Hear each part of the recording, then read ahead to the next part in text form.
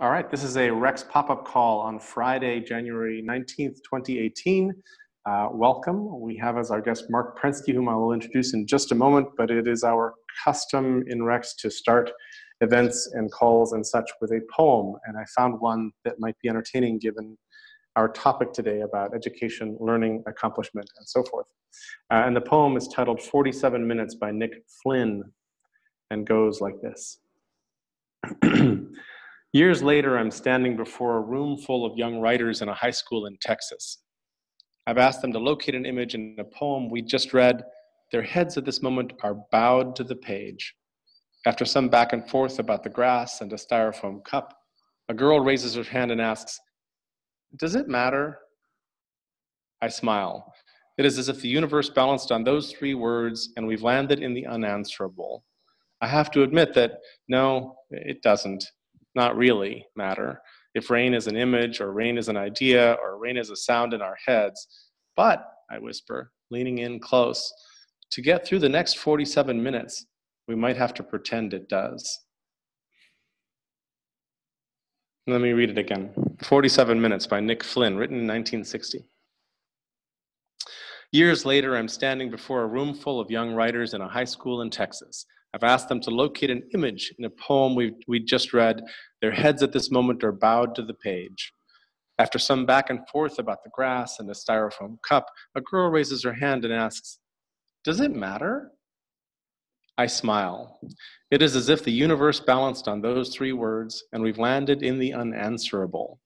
I have to admit that no, it, it doesn't, not really matter if rain is an image or rain is an idea or rain is a sound in our heads. But, I whisper, leaning in close, to get through the next 47 minutes, we might have to pretend it does.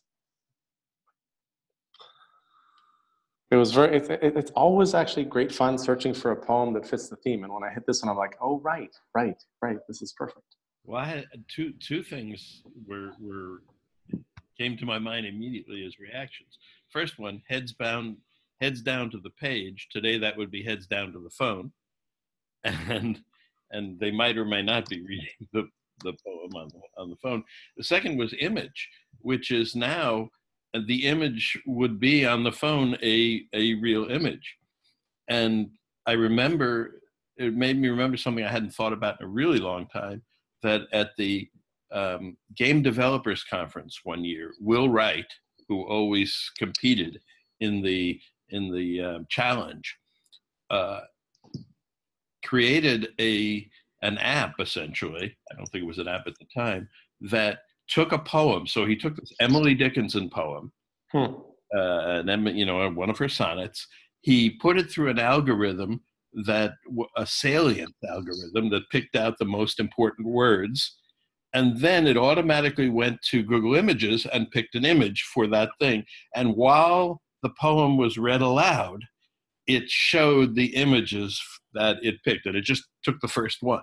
So and it was brilliant. And when we saw this it was and it was algorithmic which was mm-hmm. even better.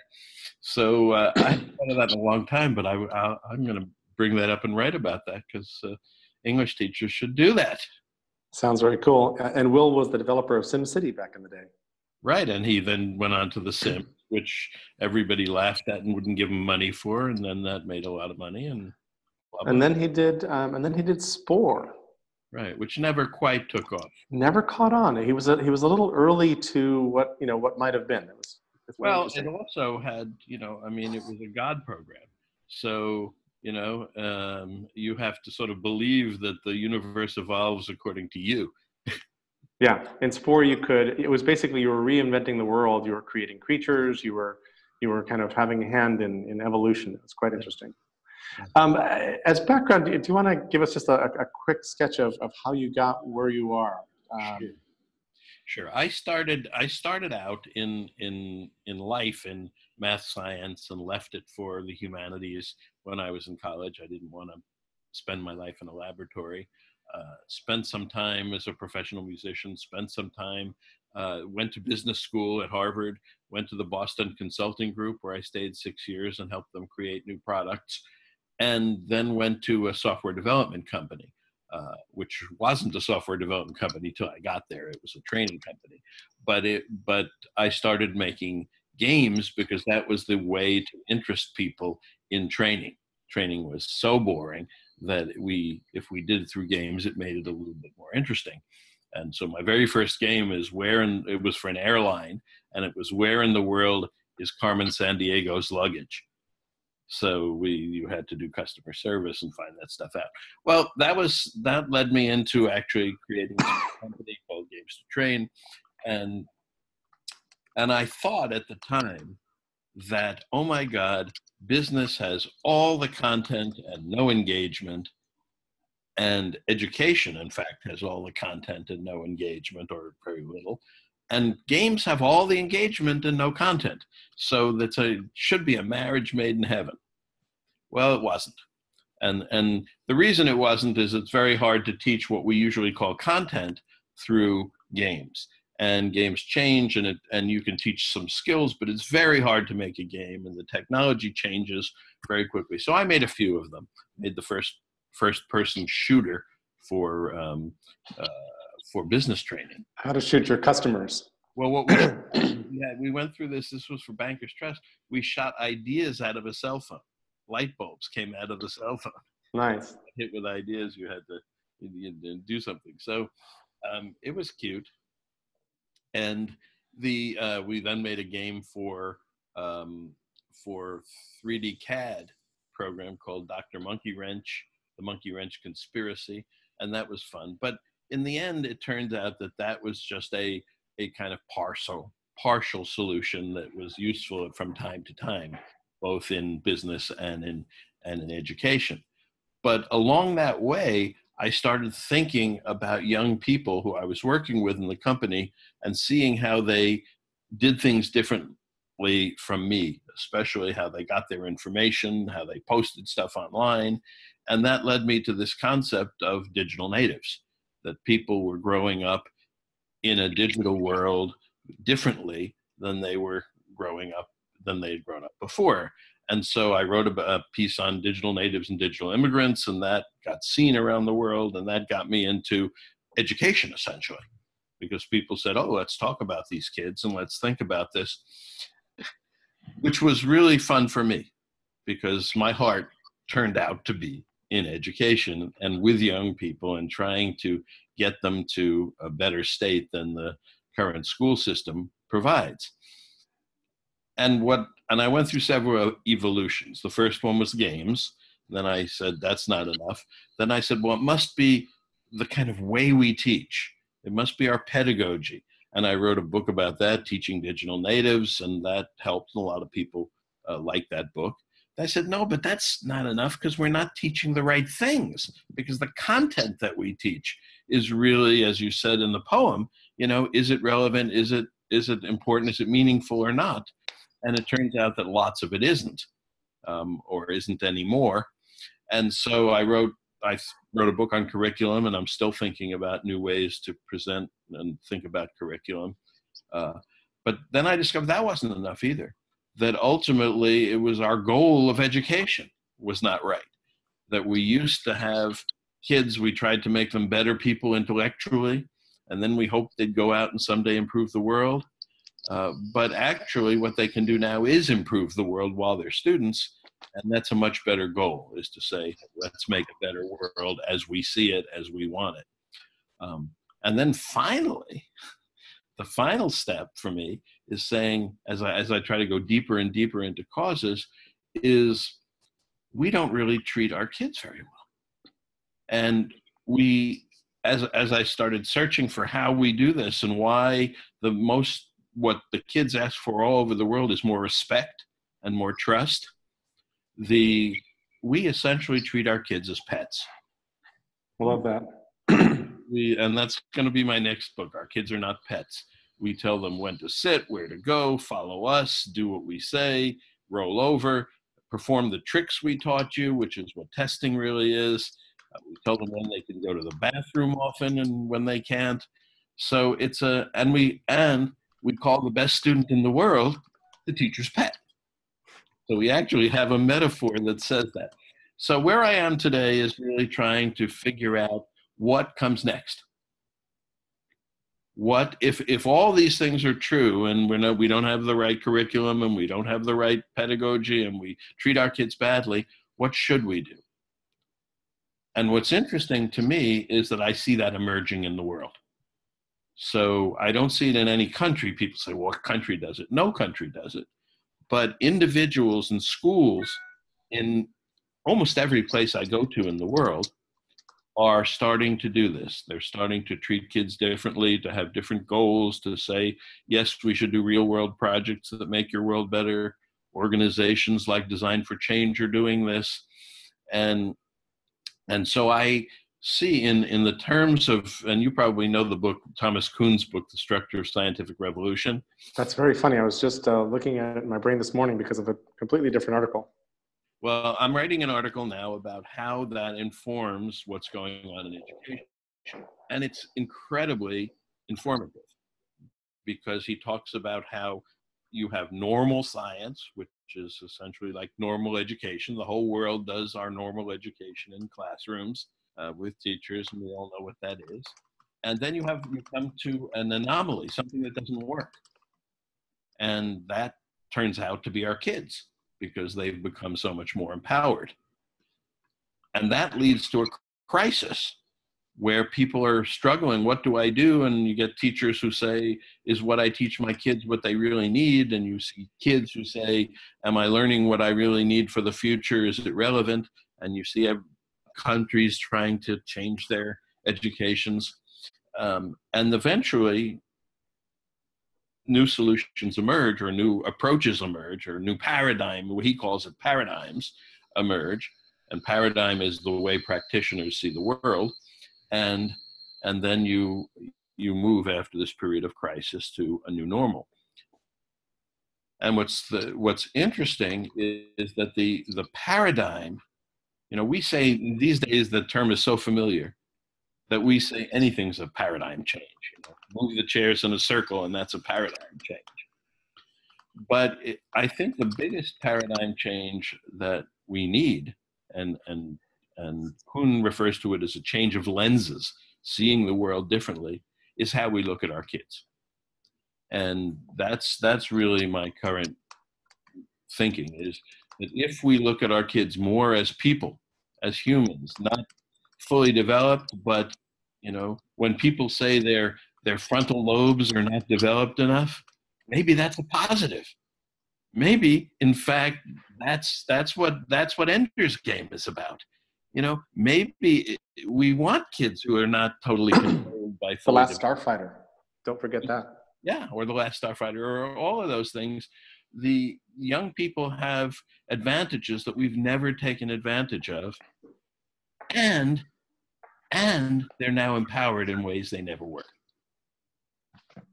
So when uh, uh, one of my favorite examples is when a teacher says to a kid okay let's do a survey on this. It's an interesting question. Let's survey some people. And in the past who could they survey? If say elementary school kids. They could survey their class.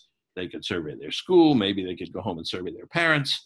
You know, we're talking about a hundred, a couple hundred kids. Now with Survey Monkey, you could say to the kid, I would like you to go out and survey a million people. And don't come back until you have answers from a million people. And they can do that.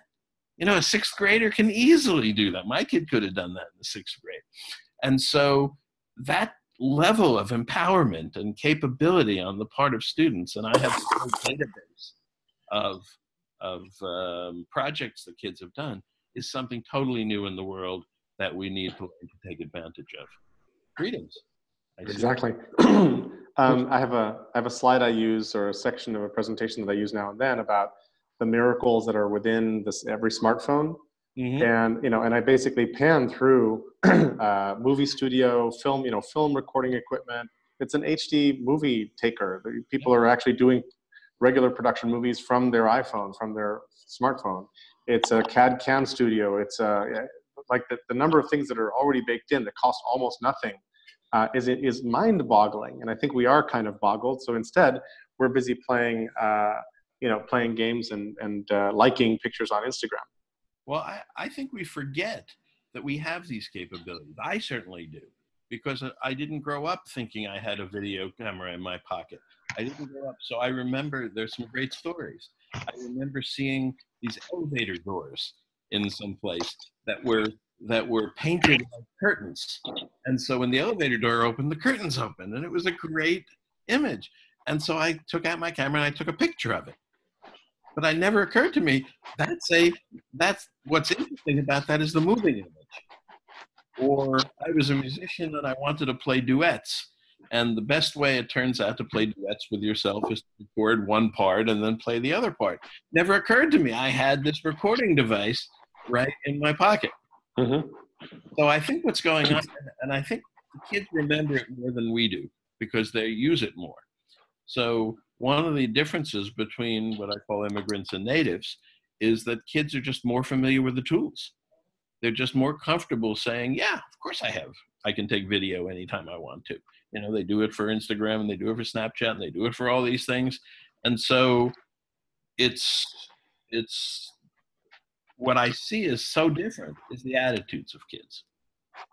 Not not that they, you know, not that those of us who are old can't do technology because we can, and not that every kid who's young can do technology because not all of them can. But their attitudes are really, really different than ours often to toward what they can do and their capabilities. Agreed. Uh, Kevin, did you want to jump in earlier? Okay, I, I was the auctioneer in me saw you raise your hand for a moment. Um, uh, Marc, can you take us a bit into the difference between achievement and accomplishment and why that matters to you, and how you frame it? The way the way I frame it is to say we have focused very much on on what we call achievement.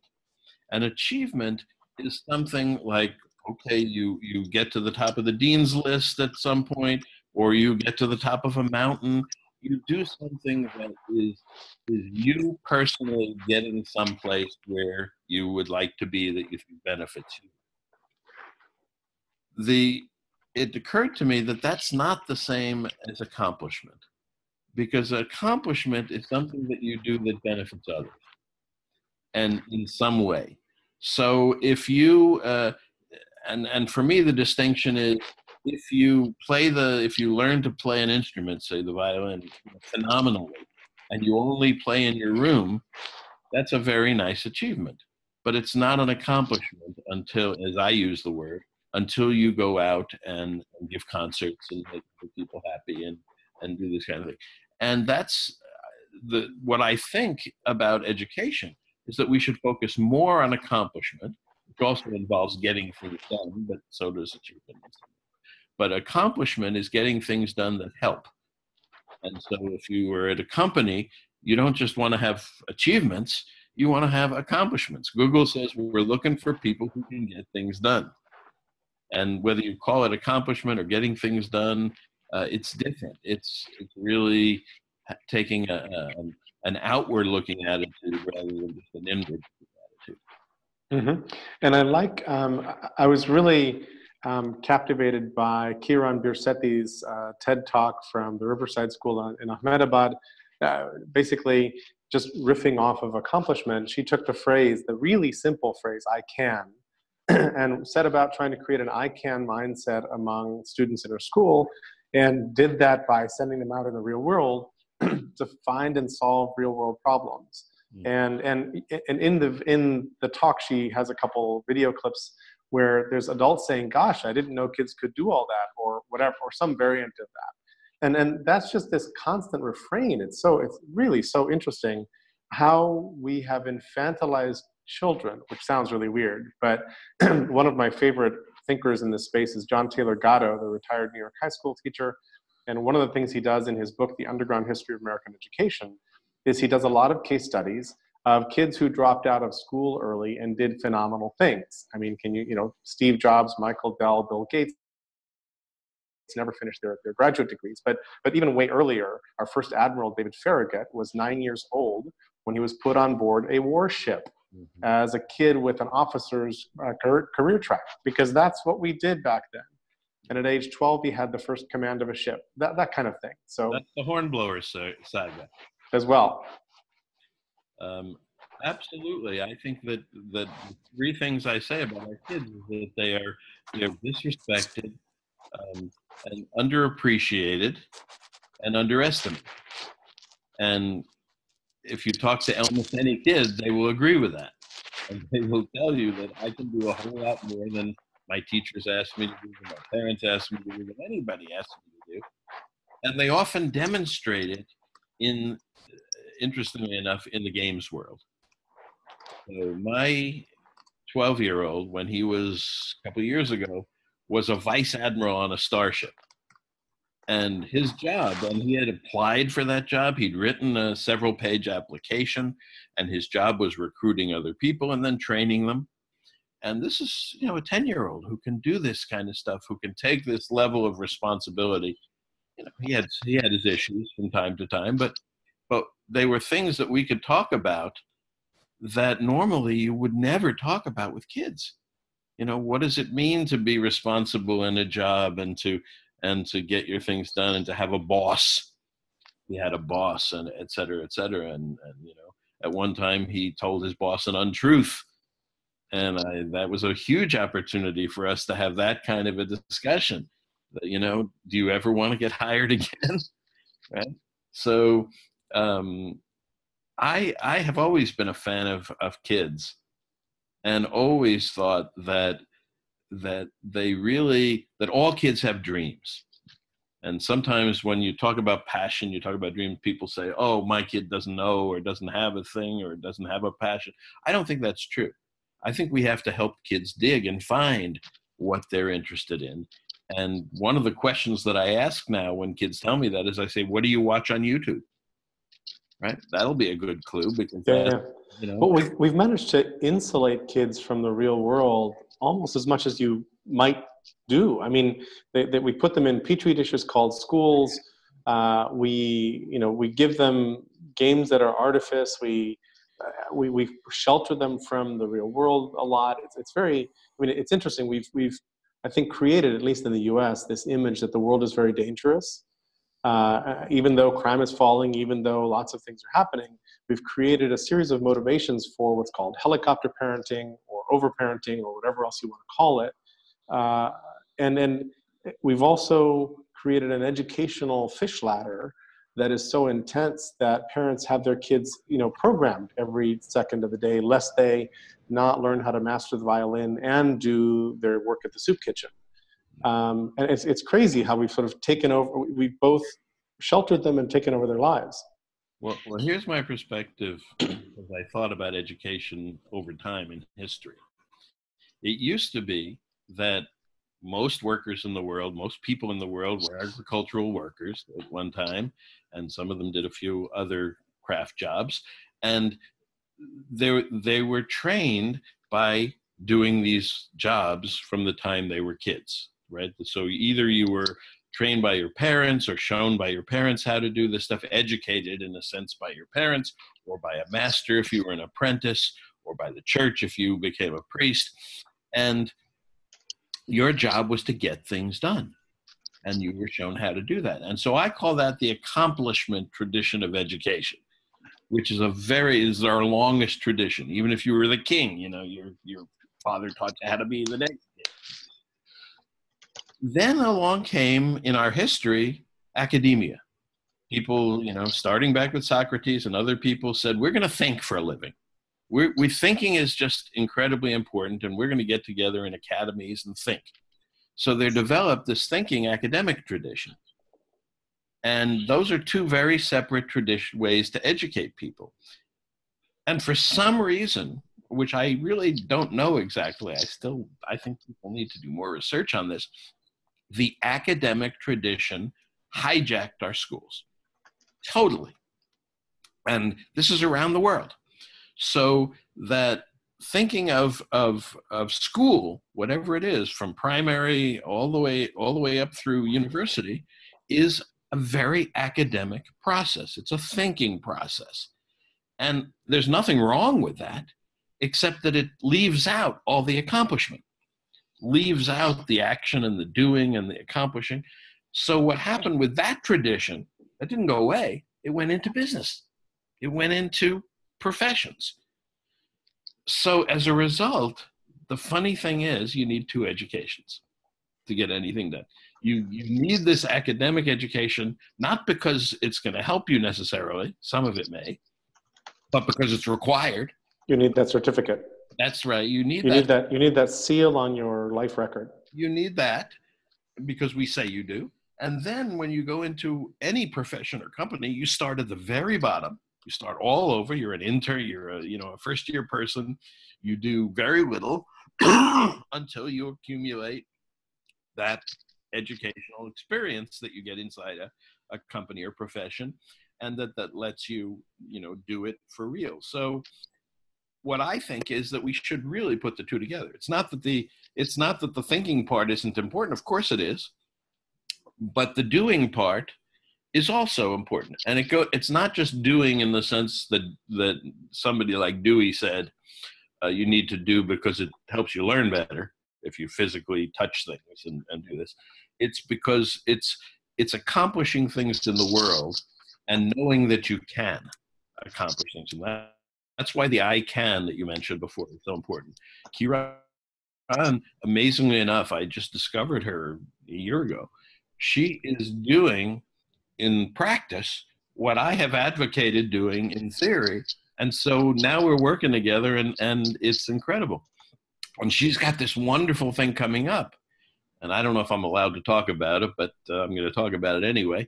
Um, she's gotten in touch with the pope. And she's got us a, a, something coming up called that i can vatican that's going to happen at the vatican right v-a-t i can that's the end of vatican so this is going to happen in 2020, I think, or something like that. And this is the first time I've seen a movement around this. This is the first time I've seen a movement around empowering kids and having them understand that they can better their world. Because my book is called Education to Better Their World. And I think that's the right thing to do. She is doing it. She's having kids do it. Mm-hmm. So a great here's something two projects in the U.S. I mean, there are projects all over the world. She's got 66 countries, but some of two of my favorites in the U.S. One, Texas, and she works in the U.S. in very poor schools. The kids' school was surrounded by drug houses. They call them trap houses, where people sold drugs. And the kids got together and figured out a plan and went to the police and got these houses shut down and they they really made that progress happen. The other one that happened just recently in Idaho, northern Idaho, is that there were a lot of teen suicides.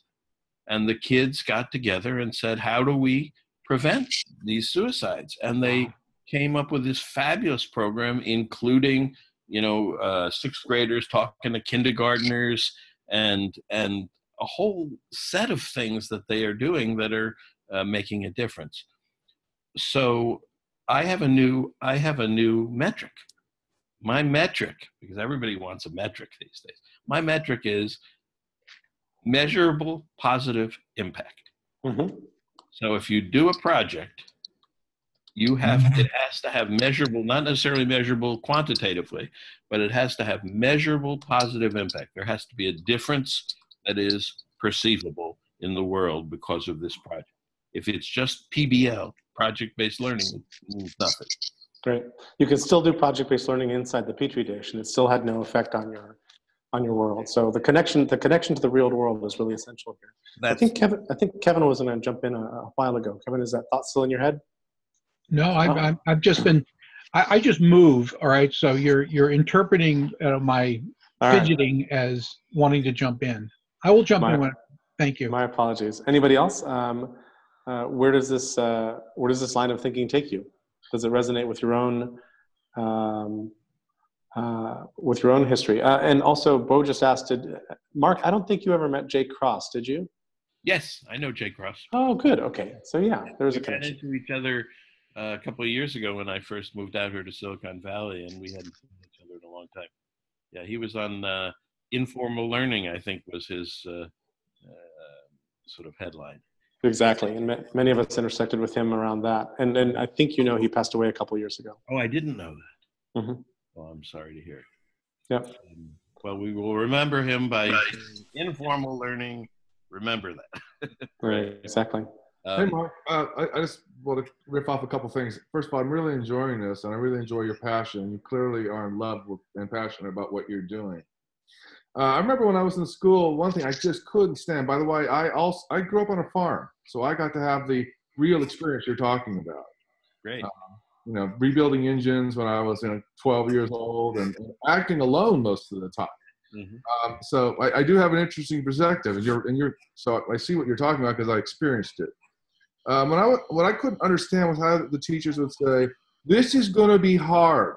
This is going to be hard," and all I kept thinking is, "Well, it's going to be fun, and so it's a little hard." You know, just talk about the fun. Let's be in the passion.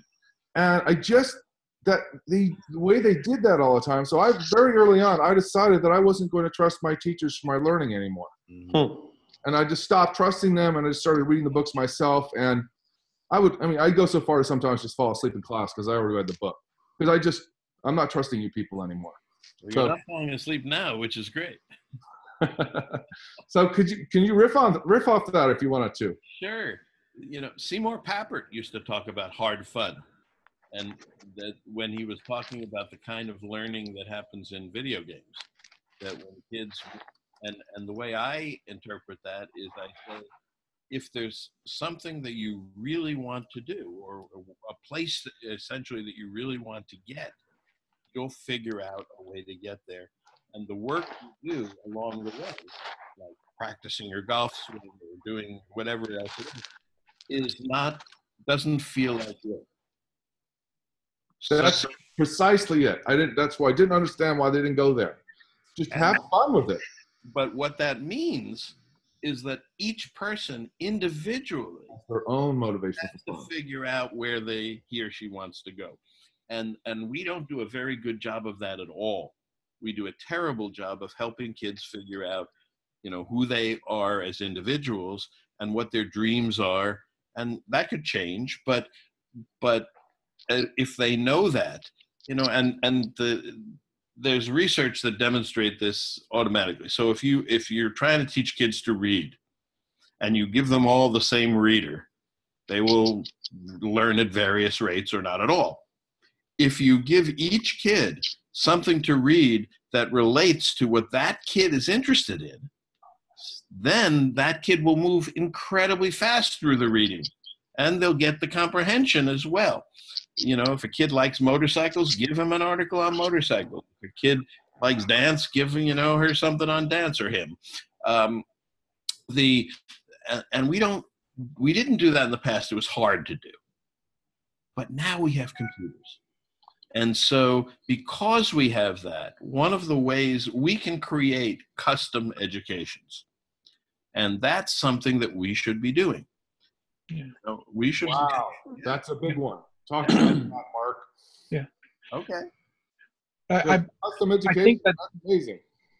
I think that what one of the things that you're talking about is that individuals can enter into flow states, right? You know, with the you know work by Csikszentmihalyi on you know flow psychology. It's mm-hmm. hard to get a group to enter into a flow state. You know, it's an individual you know matter of attention.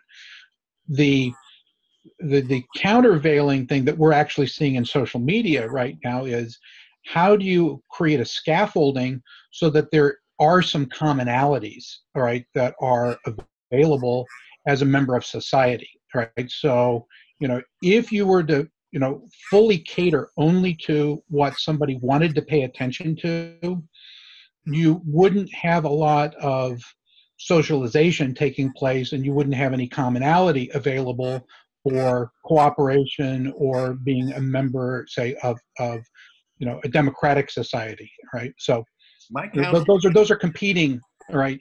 In my opinion. My counterpoint to that is NASA. Uh-huh. Is NASA is when we had a collective vision of getting to the moon. Mm-hmm. Right?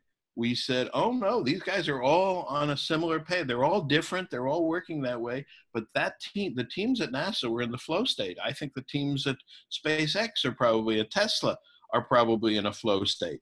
So what this this reminds me of something that that a friend of mine said that I think is is unbelievable.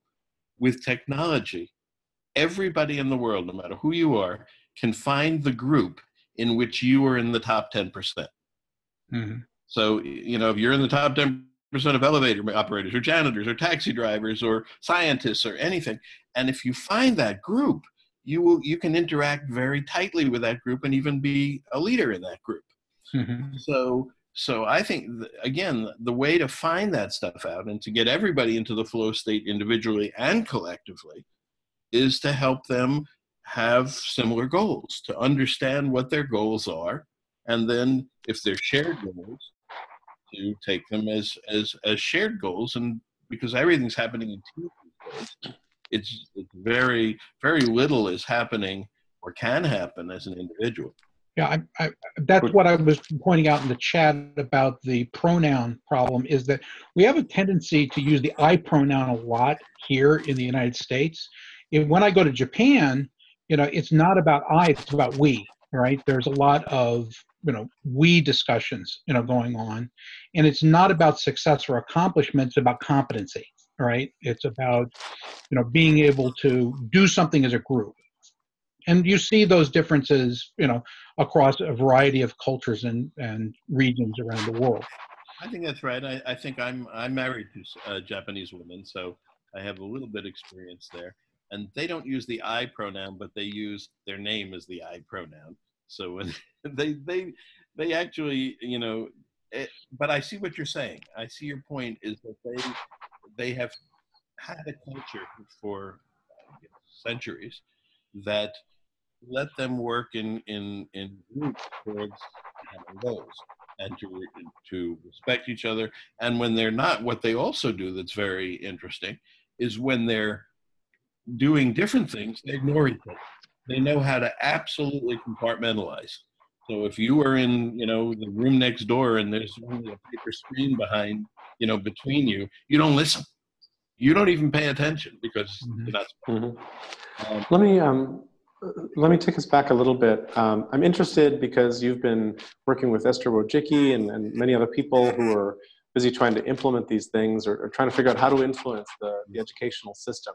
What barriers do you hit and what conversations have you had that give you some cause to hope that the system is bending or flexible or that some of these things are actually cracking through? Because the system is, is really well uh, defended. The system has antibodies uh, that will that will find and kill off and drag out into the gutter you know things that are trying to change it and, th- and that goes back to what um, what Kuhn says about science is that this is at the times of crises between uh, when paradigms change in science, the exact same thing happens. These huge barriers grow up.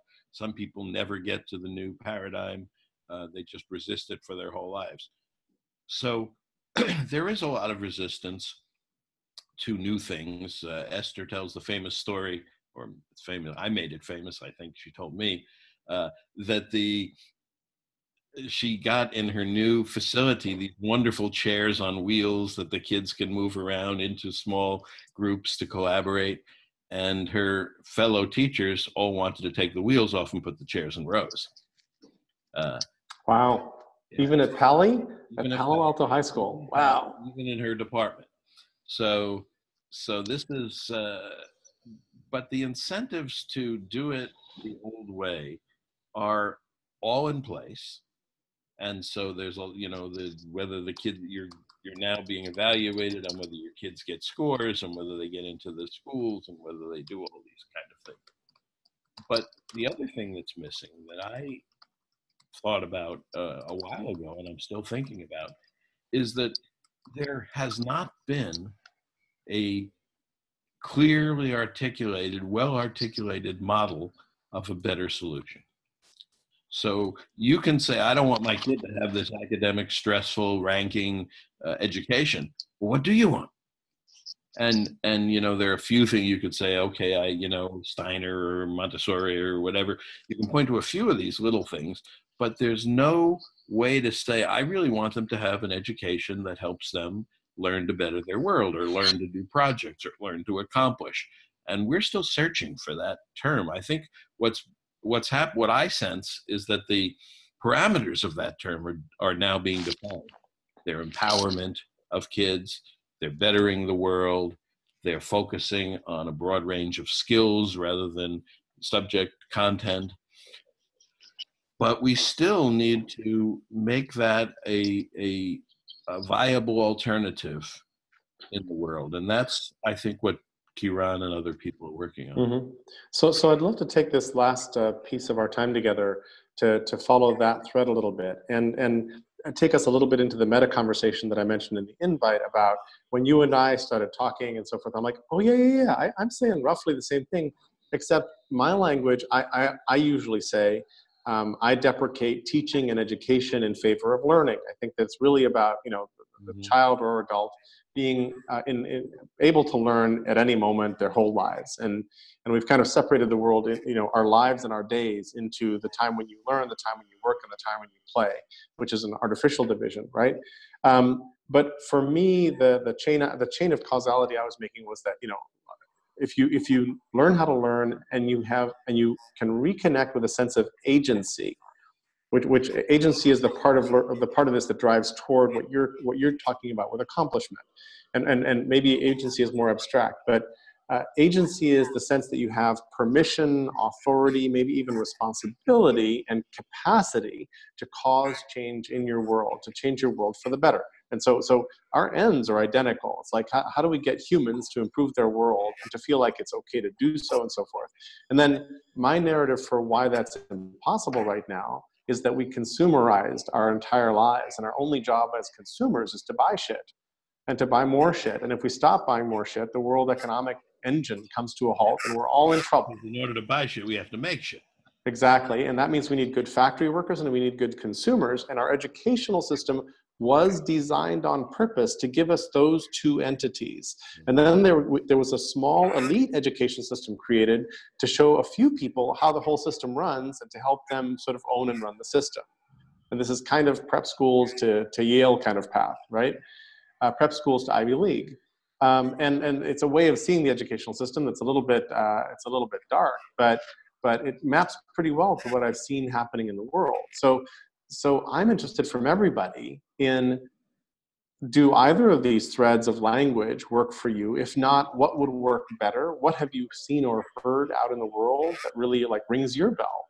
Because you know wh- whether it's aiming for accomplishment having an i can mentality uh, and, and looking for a measurable positive impact and, that these, this is part of the language that Marc is using or whether it's you know learning plus agency gives you uh, humans that are reconnected in society overcoming consumerism or something else. What what what, what worked for you guys? Uh, Mark Spakowski, or, or sorry, uh, Dave Witzel. You're.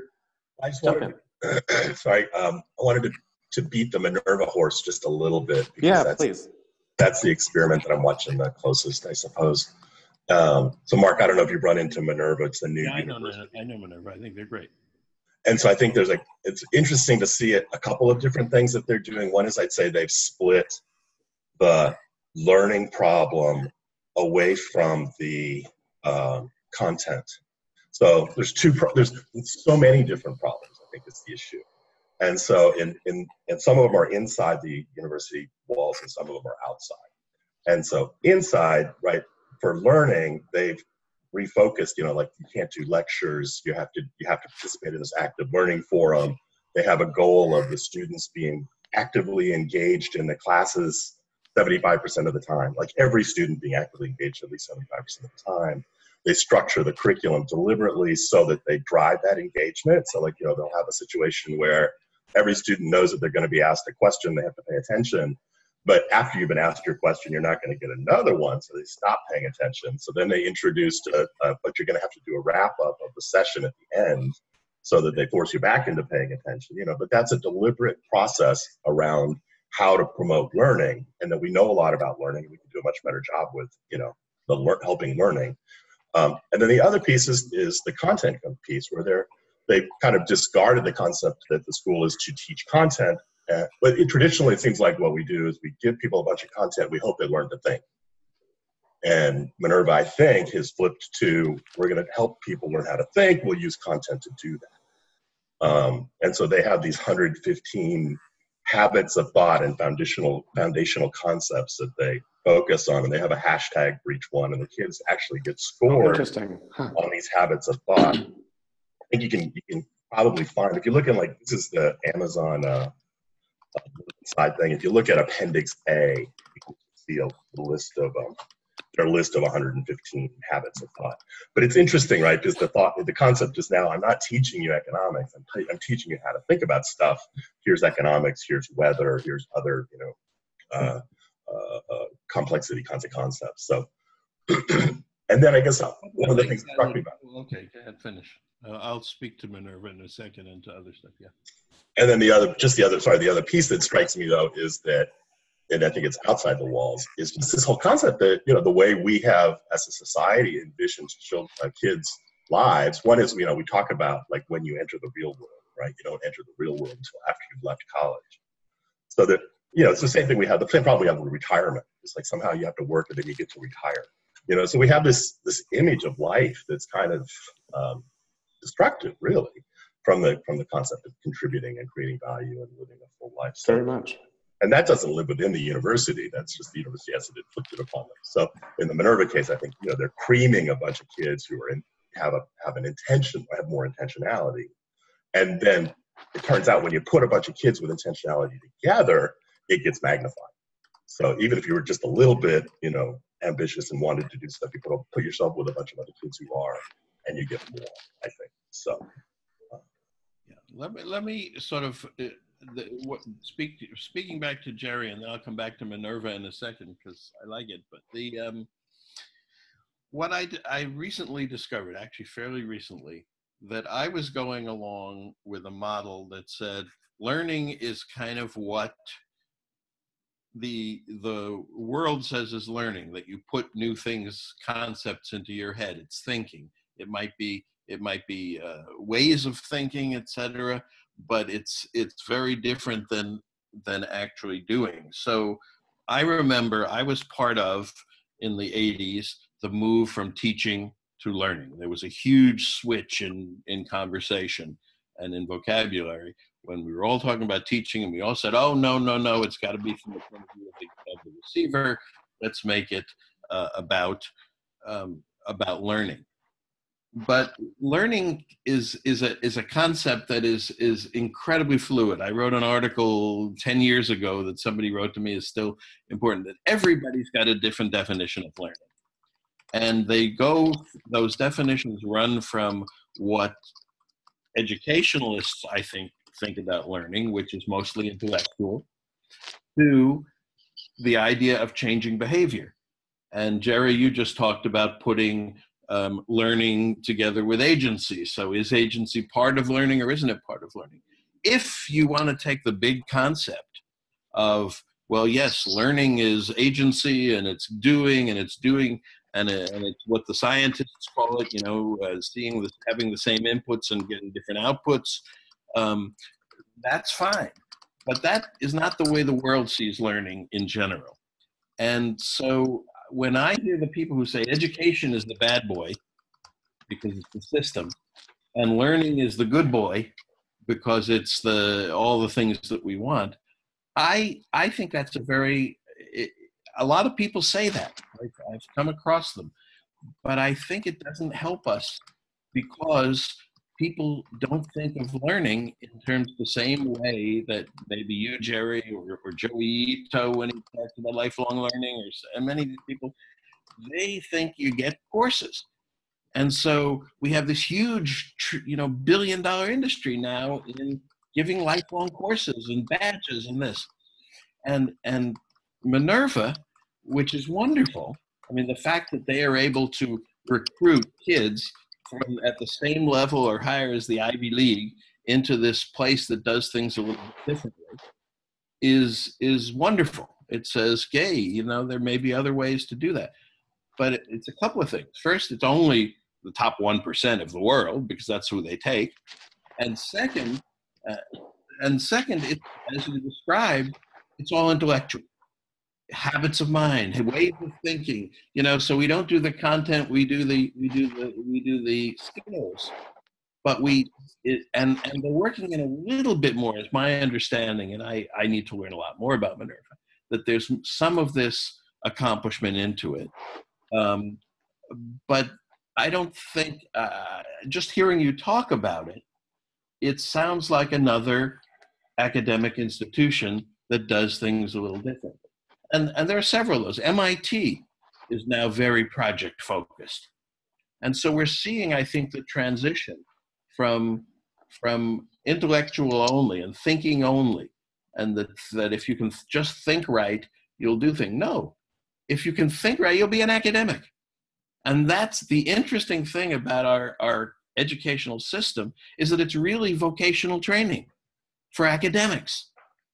It's teaching people how to think, right? Well, okay, but we don't need a world full of academics and thinkers. We need people who can think and do. And that is something that I think needs to, and if Minerva is headed in those directions, I'm 100% for it. If MIT is headed in those directions, I'm 100% for it. Uh, we have to merge the thinking and accomplishment traditions. Uh, anyone else want to put a, an opinion or a vector into the conversation at this point? That you're, you're either comfortable or uncomfortable with this. Go ahead, Kevin. Yeah, I was just uh, I just put something in the chat that you know I'm, I'm kind of observing right now that increasingly a large percentage of the population are going to be in thinking roles as increasingly the doing part, uh, at least the physicality of doing, becomes automated, right? So it's going to be designing, and that becomes the doing, all right? So we're going to be arcing more toward, you know, what makes, you know, being human, you know, different from, you know, other forms of, of life uh, that we're going to be, you know, thinking about it and and having more time for thought work as opposed to you know physical because we're going to you know design it or program it or you know, encourage the system to be augmented by it just it, it's a pretty interesting arc i don't i don't know what changes about education during that, that period of time or learning but i know that the roles are likely to shift and our time will be reallocated uh, and we'll need to think about that. Um, I, that's that's really interesting. The um, I I don't know that I that I would equate um, the the thinking side of these roles with, or that I would equate doing with accomplishment. That is to say, the ability to get things done is mm-hmm. different than the ability to think, and and whether that you get it done through machines or, or other things. Uh, but let me share with you this thought and see if you see if it means anything to to you. Um, I can't find my uh, back to my uh, video here, but whatever. The um, where we're moving to is just as you said, and, and I agree, is that almost anything that two people can do equally well or almost equally well can and will be automated. It's just a question of cost. And so, where I think people are going in terms of, of jobs and what they need and preparation is towards uniqueness. That the only thing that can't be automated is something unique. And how do you, as an individual, and some people will do it through unique thinking, which is hopefully what I try to do. Some people will do it through other forms of uniqueness, where I would say, no, I don't want to hire the machine. I want to hire Jerry Michalski, you know. Um, and and so I I am moving towards this concept for schools, for parents, for for everybody to say, let's help our kids figure out how they are unique and maximize that in ways that are in accord with what the world needs and what they love to do. Hmm. And then uh, our kids will be in a position, uh, you know, some, some of them it'll be through thinking, but for some of them it'll still be through groundskeeping. You know, and and you know, you look at these. Uh, uh you know, I don't know where I'm. I'm thinking the image coming to my mind is is baseball fields right? And now we have these beautiful mowed baseball fields in patterns.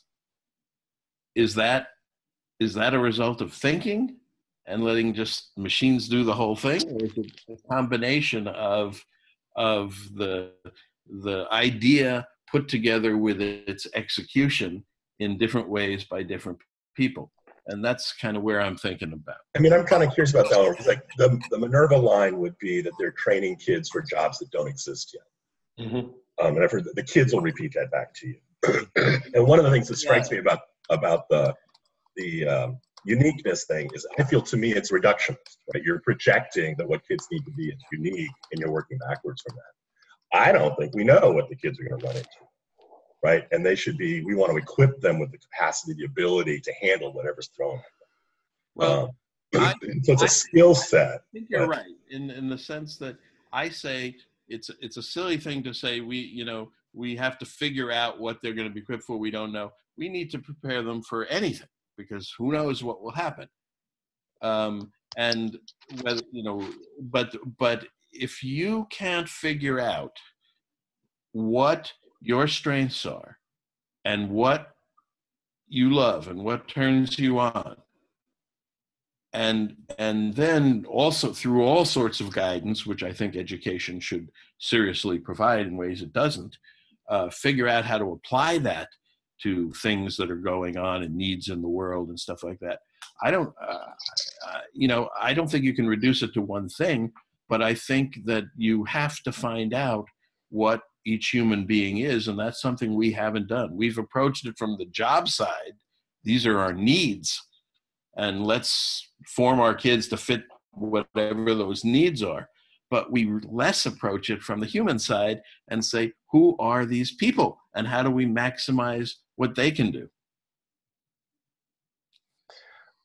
we have reached the top of the hour and i think uh, uh, we should respect everybody's uh, schedules and uh, uh and head out. Uh, Marc, is there anything you'd like to add to the conversation at this point, just as a as a wrap? Um, you don't have to say it in rap; you can say it in regular prose, regular diction. Yeah, I, I, my I, idea in the world. Do you, can I get back to the video and see you guys? That would be really lovely. If you you need to find the Zoom app, I'm at, then I'm in I'm in the Zoom app. It says we look good on mobile too. ah. Um, Interesting. Uh, so you have somehow hidden the display from yourself. Yeah, I, I, don't have the display at all. So anyway, but sorry about that. You can hear me. Um, I shared my screen. Did that ever share with anybody? I, I have not seen the screen pop up. Okay. Well, um, there are a lot of resources on my site. What I what I try to think about, and and everybody's doing this together. So the Minerva people are doing this, and everybody's trying to figure out how we can uh, move to the future. I would, if I can possibly share a slide, there is a slide I want to share, but I'm not sure quite how to do it here. Um, Go to share screen and pick well, which there's, there's which screen. None of these things that you suggest. All I see again is is is Zoom and and. If you if you mouse over the middle of your Zoom app, you might see some icons occur appear across the bottom. It said it resent me a a thing, join a meeting. That's a different. That was happened earlier. Um, yep. That, I'll read it to you. Okay. Because I, uh, it's it's. Uh, so, what what it seems to me is that there are a number of changes in perspective that we need in order to move to this new kind of education. One of them is we've discussed in a sense, but I didn't put this in, is from learning to becoming. So if you don't think about your learning, you're actually trying to become something better, some a better person, a more capable person, a world improving person. Uh, it's a change from bettering yourself to bettering your world. That's what we talked about with the achievement and accomplishment. From empowered to learn as I see learning, and I think most of the world does, to empowered to take positive action. Uh, from passion, which we all talk about, to applied passion, taking that passion and doing something that's needed in the world, um, from high PISA, from rankings to kids who can get things done, from thinking like academics, thinking like non-academics, because we're, we're too much in that mode, and from we don't know what's coming which is jobs that don't exist yet, to we are prepared for anything. And that's what I really like to say. I'd like to say, how, what are the things that kids need to be prepared for anything? And, uh, you know, I think that's a set of skills that, that the world has developed over, over millennia that I have uh, put into some kind of a chart. I think, um, I think it's an attitude of, of empowerment that I can, the I can thing that we talked about. And I think it's an attitude of helping make the world a better place, your world a better place as you see it. So those are that's uh, that's what I think prepares people for anything, and I hope that's the direction we move. Excellent.